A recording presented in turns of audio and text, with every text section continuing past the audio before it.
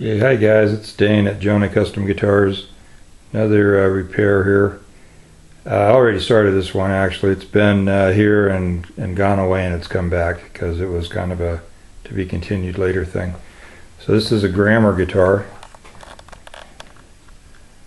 Uh, Billy Grammer from the Grand Ole Opry. Uh, started a company, I think it was 63, 63 through 65, somewhere like that. Uh, built a little less than a thousand of these guitars, and then they um, sold the company to uh, Ampeg. He wanted to do more uh, traveling and playing, and he was feeling a little uh, tied down, I guess, from what I've read about it. I uh, don't know the man. Um, so, long story short here, I guess, if we can encapsulate. This is not the original pickguard. I found a website that pictures this exact guitar um, on it, and it is. Um, I'm going to take this off first. I first when this was first in, uh, I took the pickguard off. It had loose. The ends here were loose on both tips. Um, and apparently, after they had put this pickguard on, like I said, this is not a stock pickguard because, as you can see, it covers the whole sound hole. There's some wear. Slipping this thing off here. There's some wear, excessive wear. Um, you know, right here on the top side of the sound. I don't know what you have to do when you're playing a guitar to. I mean, this is really deep. What you have to do to get into it that deep. But apparently, that's why they decided to put a double, you know, pickguard on both sides like that. The originals looked pretty similar to the you know half of this.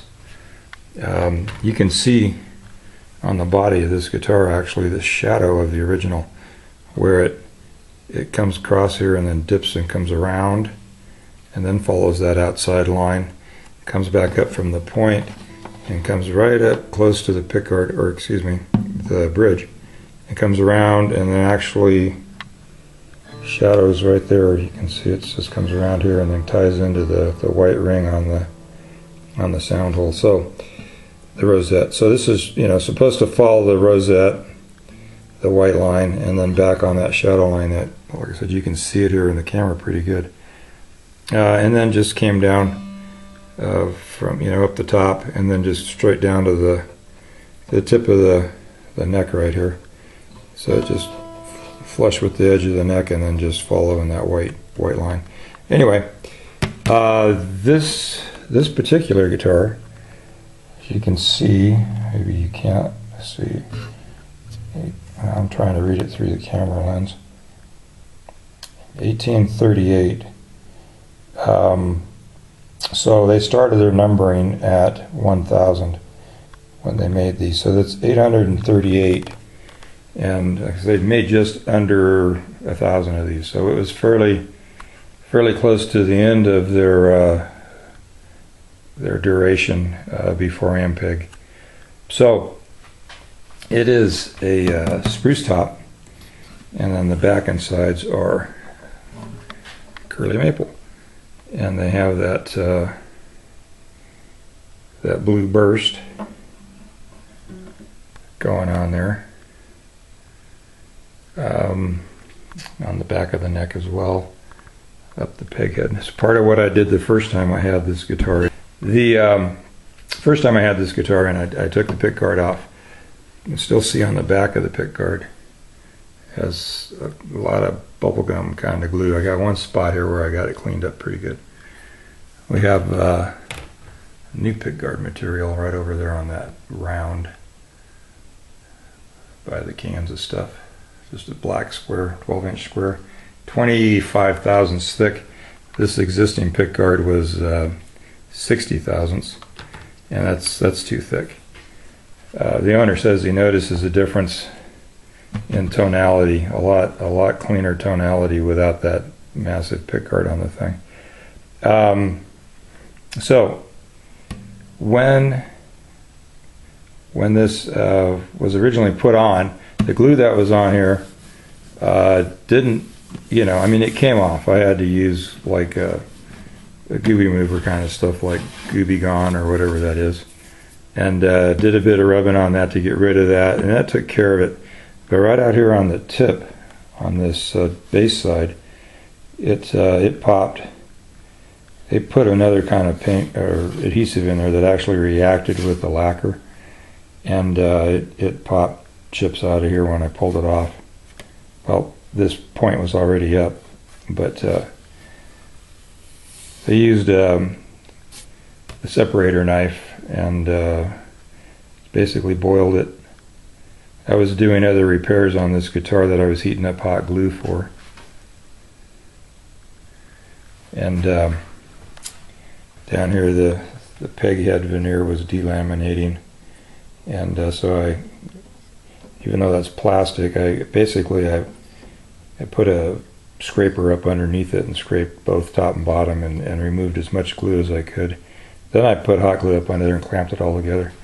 Uh, had uh, been previously been stuck down on this other side uh, with some other type of cement, possibly the same type that they tried to reglue the pickguard with, and it was, you know, coming down the side of the peg head uh, over here, coming down the side there, and then around the face, around this end of things.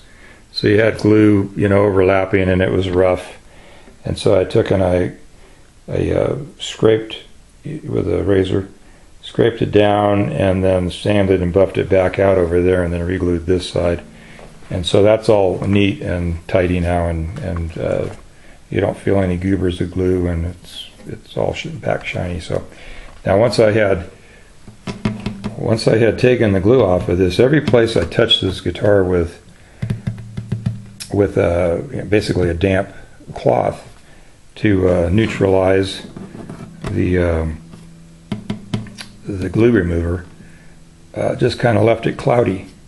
And so I went back in, starting at uh, I think about 600, and and sanded in all these areas and and then you know six 600 through a thousand and then buffed it all up so to get it back to being shiny. Wasn't sure if he was going to want to put a pick guard back on it.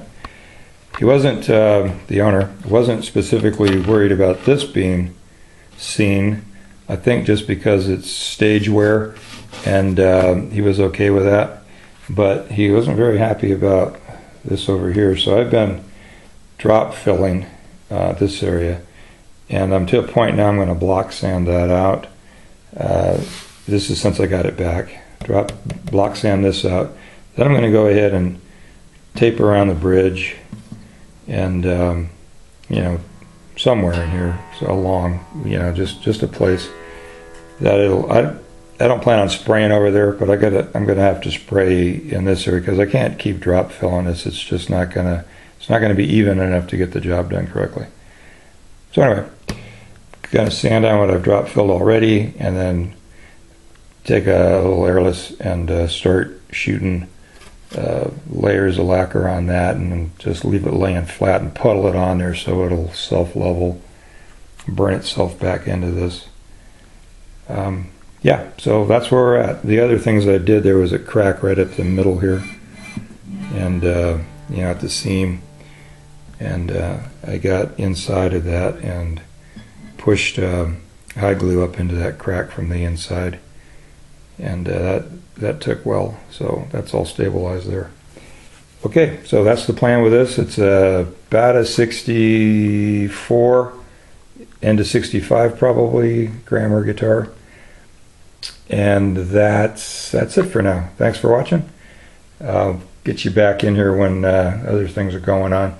Uh, if you haven't watched, uh, haven't posted any of them yet, if you haven't watched any videos about the Gibson uh, neck reset, we'll go over to that side of the world.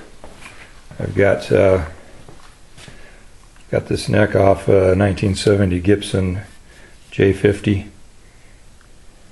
Ta-da!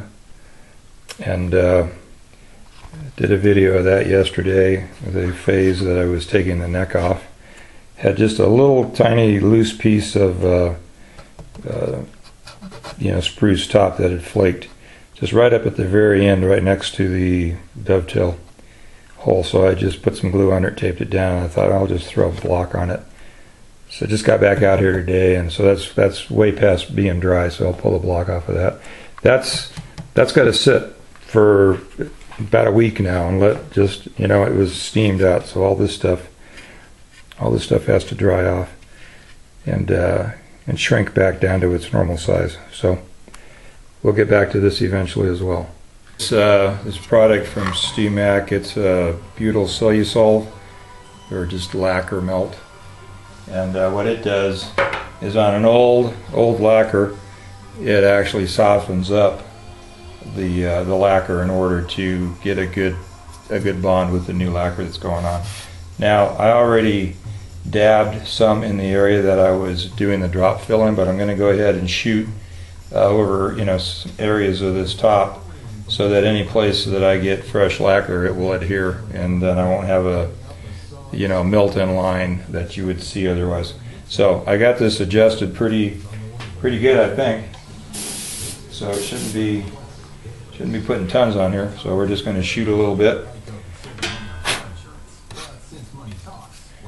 And I've, uh, I've taped everything off. As you can see, this isn't really a dam. I don't plan on floating lacquer into this. I just uh, don't want any overspray getting on the side of the guitar. And uh, anywhere else I didn't want overspray on the neck, which is out of, out of frame, or on the bridge. So let's see here. I'll back out a little bit and you can see that I've I've got tape on the on the neck there as well as uh, as the bridge and around the side. So let's let's do this. So this is just going to soften that lacquer up.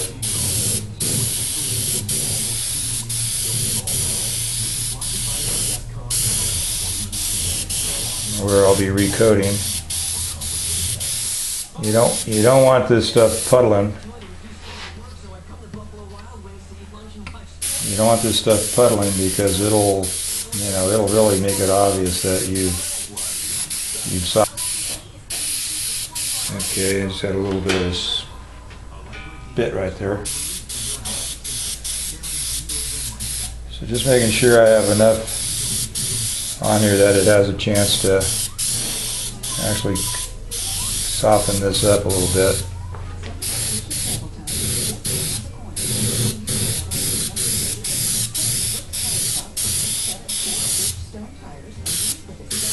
To go ahead and catch this just in case I get any up here.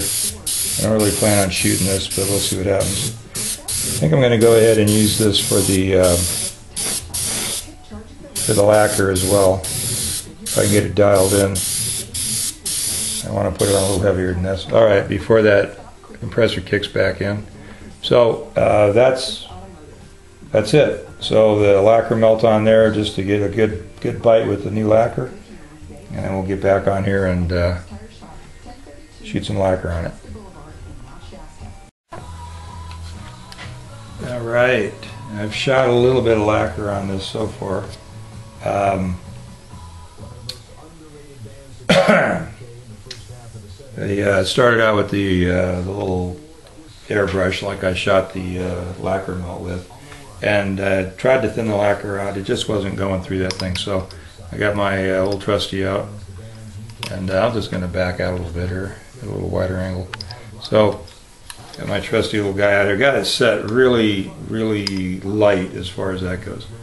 At the lacquer's probably thinned about 30%. And um, I've already shot around, you know, up in up near the bridge and across here, over those lines I was talking about.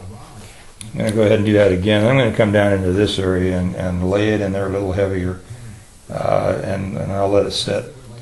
Uh, may come out later this evening and uh, and do do something there as well. But let's see what we got going on now.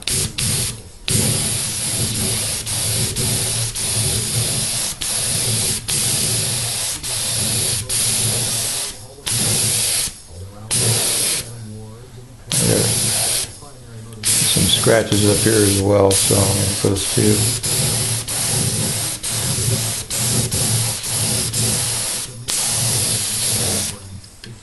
You got to figure with uh, with the whole top exposed like this, I'm going to have a lot of overspray. And I'm just gonna have to sand that, block sand that back out.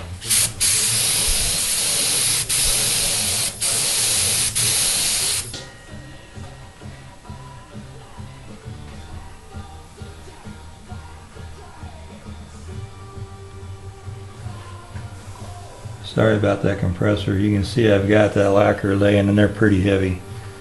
And uh, as that dries, it's gonna it's gonna sink in. I'm gonna get a little heavier up in this area.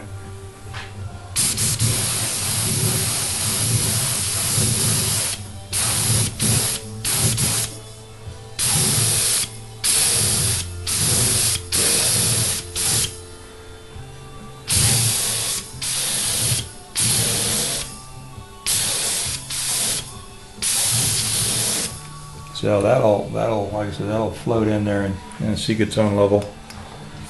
I'm gonna need to let it dry for quite a while now. So that's all for now.